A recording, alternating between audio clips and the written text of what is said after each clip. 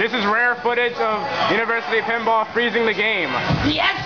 Get out the camera. Wow. This You weren't even involved. I know, right? I don't care! Brought to you by Hyper Hal and Pesky Purple. Because we're awesome like that. And I want to play Halo. Wow. What What you have to do is you have to activate. No, we don't know. we really don't. That would be so awesome, though. Like, yeah, what you have to do is you have to dash as soon as they activate. what you have to do is. But let's go to Eric.